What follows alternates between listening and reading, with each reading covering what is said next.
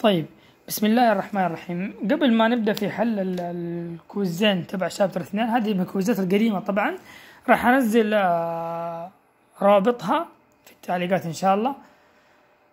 أول حاجة آه، الشابتر ده يتكلم عن معادلات الحركة المعروفة. هذه المعادلات الثلاثة.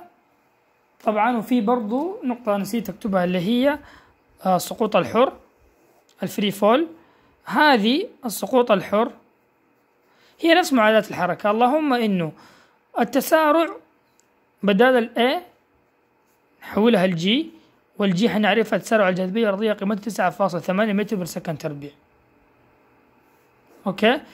كل شيء. وبدال ال X نستبدلها ب Y لأنه إيش؟ سقوط حر يا لأعلى أو لأسفل. Okay؟ والنقطة الثالثة كمان في السقوط الحر اللي هو الكل الكلمات المفتاحية عندي في السؤال. لو قال لي سقوط لأعلى مثلا قال لي up upward أو vertically upward هنا على طول على طول راح أقول إيش؟ أفرض إنه السرعة النهائية بصفر وتسارع الجاذبية الأرضية بسالب تسعة فاصل ثمانية. أوكي؟ هذا لو قال لي سقوط لأعلى ولو قال لي سقوط لأسفل مثلا قال لي down أو dropped أو أي كلمة تدل على سقوط لأسفل على طول أنا راح أفرض من عندي إنه السرعة البدائية ب zero ال initial velocity وتسارع الجاذبية الأرضية بقيمة موجبة موجب تسعة فاصل ثمانية. تمام؟ هذا ملخص قوانين الحركة ما ننسى التسارع والسرعة وقوانين ال acceleration. أوكي؟ طيب آه أنا راح راح أقول ملخص السؤال بالعربي وأنتم حتشوفوه إن شاء الله إيش؟ في النماذج. لا راح أكتبها في وصف ال... في الوصف تحت إيش؟ هذا الفيديو. اولا السؤال الأول قال لي سيارة تتسارع من سرعة. هذا أنا بكتب معطيات السؤال. قال لي السرعة البدائية تبعها ال V note تساوي 12 متر per second والسرعة الثانية السرعة النهائية ال V إلى واحد وعشرين متر per second خلال زمن time يساوي ستة ثواني. المطلوب ال average acceleration أو أو قال لي acceleration فقط قال لي إيش ال acceleration إبغاء ال acceleration طيب تلاحظ ان عندك ال V وال V note وال T في معادلات الحركة لما تبدأ تستخدم المعادلات امشي بالترتيب إيش يعني بالترتيب؟ شوف أول معادلة هل تنفع معاك؟ إذا ما زبطت تروح المعادلة الثانية هل زبطت معاك أو نفعت؟ ما نفعت تروح المعادلة الثالثة وهكذا. حسب معطياتك في السؤال.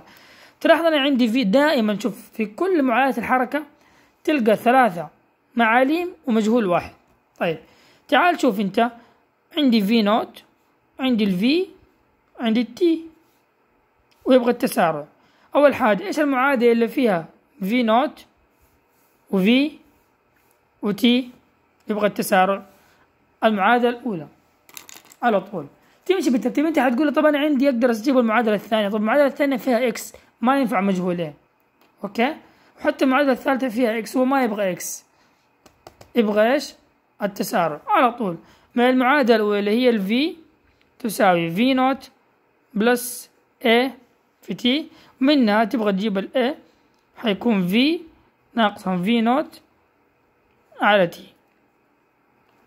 تعويض مباشر واحد وعشرين ناقصا اثناش على الزمن اللي هو ستة حيطلع الجواب واحد ونص متر per second square هذا المطلوب الأول في السؤال الأول السؤال المطلوب الثاني قال لي how far. how far بمعنى كم البعد يعني X المسافة يعني. طيب برضو تعال شوف إيش معطياتك. انت عندك شوف من, من, من السؤال الأول عندك ال V note وعندك ال V وعندك ال T اهو وجبت التسارع من حلك لي السؤال الأول. طيب إيش المعادله اللي تربط لك بين ال V note وال V وال T وال A أنت جاوبني. تمشي بالترتيب يعني. يعني ما حتقول لي والله أقدر أروح للمعادلة الثالثة. طيب تقدر تحلها بالمعادلة الثانية حلها إيش المشكلة؟ طيب هو يبغى إكس المعادلة هل فيها إكس ما ينفع تحلها بالمعادلة اذا كذا أنت ابدأ فكر فيها. تروح للمعادلة رقم اثنين. هو يبغى X طيب إيش المعاليم اللي عندي؟ في V note والله في V note طيب في T أيوه في T موجود في السؤال. طيب في في ال A طلعتها هي من السؤال الأول. طيب هو إيش يبغى؟ يبغى ال X طب تقول لي في عندي X note. أنا أقول لك في بعض الكتب بعض الكتب غالبا غالبا وفي في بعض المراجع ال X هذه تتجاهلها يعني المعادله رقم اثنين هذه يقدروا يكتبوها على الشكل التالي. إكس يساوي في نوت في تي زائدا نص في A في T تربيع فيضع ال X note ب zero فيمديك تحلها بالمعادلة رقم اثنين. يلا تعال جرب. حتقول لي والله المعادلة رقم اثنين X على اعتبار ال X note ب zero خلاص ما اكتبها واخليها X note زائدا V note في T زائدا نص A T تربيع. هو يبغى X صح؟ هذه ب zero على فرض إنه المسافة البدائية ب zero أوكي؟ نقطة البداية زائدا ال V note 12 في الزمن كم ستة تمام۔ زائدا نص في التسارع اللي هو واحد ونص في ال T تربيع اللي هو كم ستة تربيع هذا طقها بالآلة الحاسبة حيطلع لك الجواب تسعة وتسعين متر. okay؟ تمشي بالترتيب في حلك لمعادلة الحركة. اللي زبط معاك حتحل بيه okay؟ يعني حتقول لي أنا عندي في ما يحتاج ما تحتاج لكن أنت عندك معالم مديك مديك تحل بيها السؤال. عندك معالم إيش؟ مديك تحل بيها السؤال. آه طيب. نروح للسؤال اللي بعده. نروح للسؤال اللي بعده. آه السؤال اللي بعده أعطاني السؤال اللي بعده قال لي أو صخرة سوري. سؤال رقم اثنين. قال ستون دروبد يعني على طول أنت ترجم سؤالك إنها صخرة رميت لأسفل. على طول. في السقوط معناته السقوط حر. إذا على طول عندك على طول تفرض هذه فرضية عندك ال V naught تساوي ب zero وال g بما أن الكرة رميت لأسفل فتسارع الجاذبية الأرضي حيكون بالموجب زي ما فرضنا افتراضاتنا في السقوط. الحر okay؟ هذه على طول من كلمة drop من السقوط لأسفل طيب إيش يبغى؟ المطلوب وكمان قال لي سقطت على من ارتفاع ارتفاع 11 متر. يعني كان يقول لك y لأنه في سقوط الحر قلنا نستبدل ال x ب y. تمام؟ سقطت من على ارتفاع 11 متر. المطلوب المطلوب يبغى السرعة ال velocity أو ال speed. طيب إيش تبدأ معادلة الحركة الأولى؟ المعادلة الحركة أول شيء إيش إيش المعالم اللي عندك؟ ال V naught وال g وال y. هذه المعالم اللي عندك. هو إيش يبغى؟ يبغى ال V. صح؟ طيب هل تنفع معاك المعادلة الأولى؟ ما ينفع لأنه عندك t ما أنا ما عندي t okay؟ طيب إيش اللي ينفع معاك؟ هل ينفع معاك المعادلة الثانية؟ ما ينفع لأنه أنا عندي t طيب. آه لأنه عندك مجهول ثاني يعني فما ينفع. طيب المعادلة الثالثة؟ تعال نشوفها والله. المعادلة الثالثة اللي هي V تربيع تساوي. V naught تربيع زائدا. اثنين في g في ال delta y أو y بعض الكتب تسميها y أو delta y هي يعني هذه هذه هي هي نفسها ال y والله ال V naught عندي معروفة بصفر. عندي التسارع وعندي المسافة. خلاص حلوين أقدر أجيب ليش الفي هنا باخذ جذر التربيع الطرفين للتخلص من التربيع. هنا الفي تساوي صفر تربيع من فرضيتي زائد اثنين في التسارع في تسعة فاصل ثمانية تسارع الجاذبية الأرضية في المسافة في 11 هاي تطقها بالآلة حيطلع لك الجواب. السرعة تساوي أربعة عشر point سبعة متر per second. okay؟ طيب السؤال اللي بعده. سؤال ثلاثة. بس أعدل الكاميرا شوي دقيقة. سؤال ثلاثة. قال لي أعطاني معادلة معادلة السرعة اللي هي v of t تساوي سالب ثمانية t ناقص اثنين. okay؟ المطلوب قال لي أبغى ال average acceleration يبغى التسارع. وأنا شرحت إذا إذا أعطاك معادلة السرعة وطلب التسارع لازم تشتق لأنه إحنا عندنا قاعدة غير تمشي عليها ك sequence عندك x بعدها V بعدها t بعدها a إيش الكلام ذا؟ لو أعطاك معادلة ال x إذا سويت لها اشتقاق إذا إذا إذا سويت لها dx by dt يعطيك إيش؟ السرعة. والسرعة هذه إذا استعملت لها اشتقاق dv by dt يعطيك التسارع. إذا اشتقاق المسافة يعطيك السرعة واشتقاق السرعة يعطيك إيش؟ التسارع. هو أعطاك آه أول حاجة أعطاك وكمان في السؤال قال لي التسارع بين زمنين between t تساوي واحد وال t تساوي four second طيب. أول حاجة تعرف قانون التسارع عندك إيش هو؟ ال average acceleration التسارع هو عبارة عن إيش؟ التغير في السرعة مقسوم على الزمن. يعني V2 النهائية ناقصا V1 البدائية. على الزمن النهائي ناقص الزمن البدائي. أوكي؟ طيب. أول شيء أول شيء هنا دام أعطاك زمنين أنا شرحتها قبل دام أعطاك زمنين وطلب التسارع طيب شوف القانون.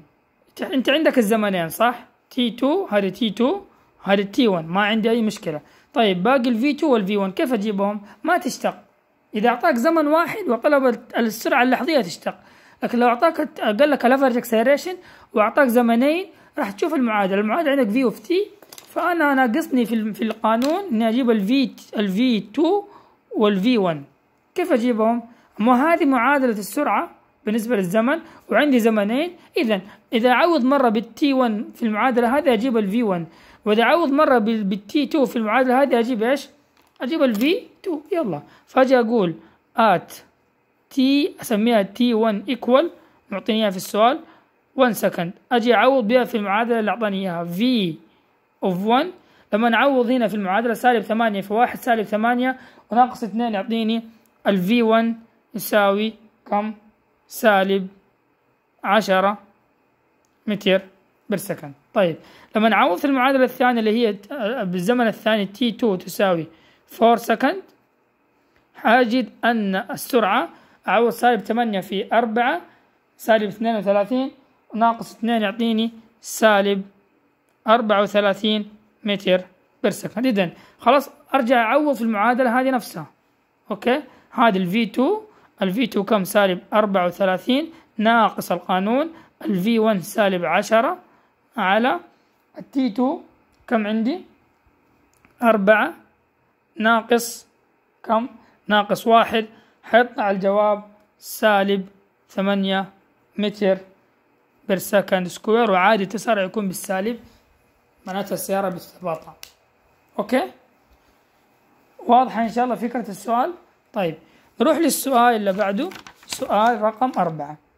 سؤال رقم أربعة. في النموذج الأول. طبعا هذا هذا quiz يعني بسيط. قال لي خلال حادث سؤال أربعة. ملخص الكلام. أوه. قال لي خلال حادث السيارة تتوقف في زمن يساوي 0.12 second. وكانت السرعة البدائية لها 18 متر بال second تمام؟ أوجد التسارع. طيب شوف أول شيء خلينا نفهم فكرة السؤال. هو قال لي خلال حادث. حادث سيارة. تمام؟ السيارة توقفت قالت هذا أربعة. السيارة توقفت stop طبيعي السيارة السيارة حتقل سرعتها. توقفت عند زمن قال لك ال T تساوي 0.12 second أوكي؟ وكانت السرعة البدائية لها طب طبيعي حتى لو ما قال لك تعرف إن السيارة كانت ماشية بسرعة. بعدين توقفت. أوكي؟ معناتها السرعة النهائية تبعها ب zero لكن السرعة البدائية مو ب zero. لازم اعطيك قيمة لها. أوكي؟ فكر فيها زي كذا. اذا ال V note عندي 18 متر per second. وبما انه قال لي stop السيارة بتتوقف مع الحادث معناتها السرعة اللي هتصل لها السيارة ب zero. معناتها أنت كده تعرف إنه التسارع هو إيش طلب منك طلب التسارع. معناتها إنه التسارع حيكون بقيمته سالبة لأنه السيارة السيارة بتقل سرعتها. كانت كانت ب 18 صارت صفر. المطلوب يبغى التسارع. طيب. من معادلة الحركة أنا إيش عندي؟ عندي ال V وعندي ال V note وعندي ال T ويبغى إيش؟ يبغى التسارع معناته أقدر احلها بقانون الأول معادلة الحركة اللي هي خلاص أكتب ال V هي V في القانون الأول اللي هو معروف. ال A منها V ناقصا V note على T لما نعوض بال V صفر ناقص 18 على الزمن 0.12 حيطلع الجواب سالب 150 متر per second square وهذا منطقي لأنه السيارة في الحادث تسارعها حي... حيش؟ حيكون حيقل بسرعة كبيرة. التسارع حيكون بالسالب لكن بسرعة كبيرة التسارع. يعني السيارة بتصل الصفر في في شوف كم ثانية وصل في أقل من نصف ثانية كمان. فطبيعي إن الرقم يكون سالب 150 متر per second. نروح للسؤال خمسة. صراحة سؤال خمسة ما كان واضح هذا فما ما عرفت احله وما ما واضح المعطيات عندي في الورقة ف راح أتجاهل. نروح للورقة الثانية. الورقة الثانية قال لي سيارة slow down شوف من يوم ما قال لك slow down يعني بتقلل سرعتها. يعني لو طلب منك التسارع انه التسارع حيكون بالسالب. ليه؟ لأن السيارة بتقل سرعتها. تمام؟ from speed على طول أنت تعال. قال لي from speed يعني هذا ال V note أوكي؟ to rest يعني إلى السكون. وأنا زي ما قلت لك إذا السيارة بتقلل سرعتها سواء كان حادث أو بغير حادث معناتها السرعة النهائية عندك ب zero. أنت كده طلع معطياتك. وأعطاك كمان in 5 second معناتها هذا ال time إيش يبغى؟ how far ما هي المسافة والبعد الذي قطعته السيارة؟ تمام. خلال الفترة هذه خلال المدة هاي يعني إيش؟ يبغى X طيب. كده أنت تيجي تحط على الجنب تحط معطياتك. والله ال V note عشرين متر per second والسرعة النهائية ب zero لأن السيارة إيش؟ بتتوقف. وأعطاك ال T كم؟ five second إيش يبغى؟ التسارع. طبعا من قانون معادلة الحركة الأولى ال A تساوي V ناقصا V note على T تعوض مباشرة يطلع لك التسارع بالسالب وهذا قيمة منطقية جدا لأن السيارة بتتوقف. طيب. أول حاجة أول حاجة أنا جبت التسارع. هو إيش يبغى؟ تلاحظ هو ما يبغى التسارع يبغى يبغى البعد. أنت لو تيجي في معادلات الحركة لو أذكرك كذا تمام؟ تمام؟ هو يبغى يبغى البعد. في المسافة الأولى ما تقدر تجيب الإكس. تيجي في المعادلة الثانية تقدر تجيب الإكس. لكن تمام؟ عندك التسارع مجهول فما يمديك يعني مجهولين. طيب تروح المعادلة الثانية. تمام؟ هو معطيك زمن. هو معطيك زمن. صح؟ طيب أنت كيف تجيب كيف تجيب ال ال اسمه ده؟ آه ما ما ما في فائده أنت عندك يعني شوف أنت عندك مثلا عندك السرعة النهائية عندك السرعة البدائية حلو وهو يبغى المسافة وأنت عندك التسارع مجهول. فايش تسوي؟ ما عندك حل إلا إنك تجيب التسارع؟ كيف أجيب التسارع من معادله الحركة الأولى. شوف أنا جبتها. التسارع V ناقصا V note على T هذا مو المطلوب. المطلوب يبغى يبغى المسافة. فأنت ما عندك حل إلا إنك تجيب التسارع عن طريق معادلة الحركة الأولى بعدين ترجع تروح تعوض بمعادله بمعادله الحركة الثانية. تمام؟ امشي بالترتيب يعني بمعادله الحركة الثانية. أو جبت التسارع معادلة الحركة الثانية هذه. يبغى البعد. افرض إنه هذا بصفر. دائما قلنا في في في حلك اللي جاء المسافة افرض ال X naught ب zero ال V naught عندك الزمن عندك التسارع طلعته بسالب كل شيء عندك عوض طلع لك الجواب 50 متر. اذا فكرة السؤال هو يبغى البعد لكن لازم تجيب قبلها التسارع عشان تجيب سوري هو يبغى المسافة لكن قبلها تجيب التسارع عشان تقدر تجيب إيش؟ المسافة. ما عندك طريقة إنك تسوي زي كذا طيب. آه هنا سؤال هذا سؤال واحد. طيب.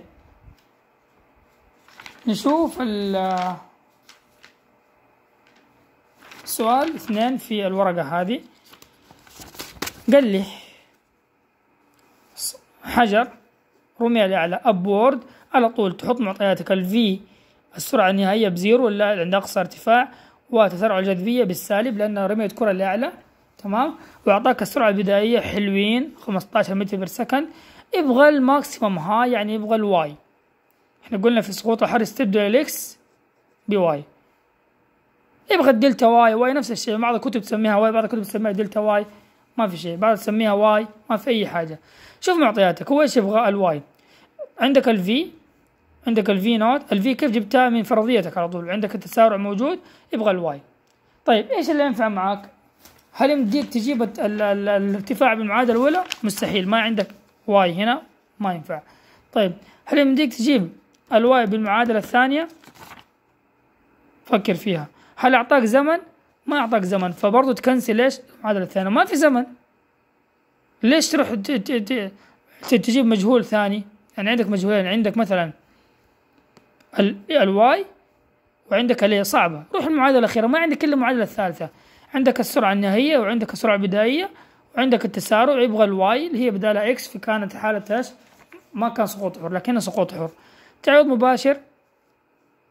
يبغى ال Y X الاثنين والسالب يجي في المقام والباقي تمام؟ هذا وديه الطرف الثاني بعكس الإشارة. جبت إيش؟ ال... الارتفاع 11 ونص متر. المطلوب الثاني find speed أوجد لي السرعة ال V when it reach at high 6 متر أوجد لي السرعة عندما تصل أو تصل هذه الحجرة أو الصخرة ذي أو ال تمام؟ الصخرة يعني إلى ارتفاع 6 متر. تمام؟ برضو ده ما أعطاك زمن ده ما أعطاك زمن. ما له داعي إنك تروح تحلها بالمعادلة الأولى. ولا ولا داعي إنك تحلها بالمعادلة الثانية. حلها بالمعادلة الثالثة نفسها. تمام؟ شوف. هو يبغى السرعة النهائية. ال V naught خلاص معروف خمسطعش زائد اثنين في التسارع. سالب سالب في, في ال Y اللي أعطاك إياها. ستة متر. باخذ جذر تربيع الطرفين للتخلص من التربيع في اليسار. حيطلع الجواب عشرة point أربعة متر per second هذه السرعة تمام عندما تصل الكرة إلى ارتفاع ستة متر. أوكي؟ سؤال أربعة. أعطاك معادلة ال position ال position X 6.2 T plus 0.5 T square يبغى ال acceleration إحنا قلنا ده معطاك تمام؟ معادلة المسافة. وسكت. وقال لك ال acceleration وما أعطاك أي شيء تاني ما لك إلا إنك تشتق. لكن لو أعطاك زمنين حتعوض بيهم تشتق يعني حتعوض مرة. تشتق معادلة السرعة المسافة تخليها سرعة بعدين تعوض في الزمنين تعوض معادلة ال average acceleration. لكن هنا أعطاك فقط قال لك أعطاك معادلة ال X. وقال لك ال acceleration. سكت. ما هذه معادلة X. لازم تشتقها مرتين. تشتق مرة تجيب السرعة. تشتق مرة ثانية تجيب التسارع. طيب. لما تشتق هنا ستة point اثنين T حتكون اشتقاقها ستة point two زائدا نص T تربيع اشتقاقك حتسوي تقدم اثنين قدام النص حيطلع زائدا واحد T تنقص من نص واحد طبعا. الآن اشتقها مرة ثانية. اشتقاق الثابت بصفر. زائدا اشتقاق المتغير مشتق ال T بواحد. إذا إيش تلاحظ؟ إنه الجواب التسارع هو واحد. أوكي؟ سؤال خمسة قال لي السيارة تتسارع من أعطاك زمنين V 1 20 و V 2 30 وأعطاك الزمن ستة ثواني. المطلوب التسارع. وعندك واضح إنه عندك الفي نو الفي نوت والفي والتي ويبغى التسارع ما عندك إلا معادلة الحركة الأولى. A تساوي V ناقصا V naught على T حيطلع لك التسارع واحد point سبعة وستين. بعدين إيش يبغى في الفقرة الثانية؟ قال لي يبغى المسافة ال far how far تقدر تحلها بمعادلة الحركة الثانية على طول. X naught تفرضها ب zero. ال V naught موجودة. وال T موجودة. والتسارع جبته. كل شيء موجود. جيب إيش المسافة. حط المسافة دي ب zero. والباقي كله عندك معلوم. هذه V naught. هذه الفي. وهذه التي. وهذا التسارع. حيطلع لك الجواب مية وخمسين متر. طبعا أنا حنزل الصور. أو حنزل روابط الكويزين هذه عشان تشوفوا الأسئلة أفضل. من كذا بالتوفيق.